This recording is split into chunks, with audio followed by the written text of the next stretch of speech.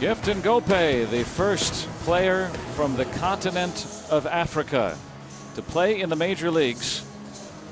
He'll come in on the double switch and make his big league debut. And look at this. He- yeah, he said that once he gets the call, he feels like he's going to be really, really excited. And sure enough, after nine years, he gets the call tonight.